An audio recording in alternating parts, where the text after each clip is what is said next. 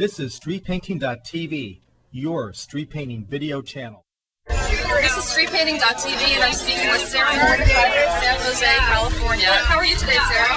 Hi there, I'm doing well. What is uh, your favorite street painting that you've worked on to date? Oh, well, Do I, have I'm, one? I'm pretty much loving this one.